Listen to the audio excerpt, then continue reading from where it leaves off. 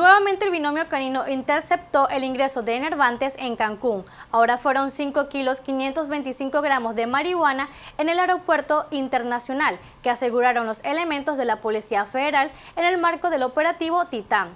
Según la ficha informativa de la Coordinación Estatal, los agentes efectuaban inspecciones en compañía de un perro, por lo que este, en un paquete de FedEx, marcó un positivo. El paquete estaba a nombre del remitente Ángel Alberto N. de Zapopan, Jalisco, y era dirigido a Yair N. para la sucursal de Playa del Carmen. El estupefaciente fue asegurado por los elementos federales y puesto a disposición del Ministerio Público de la Federación para lo que a derecho resuelva.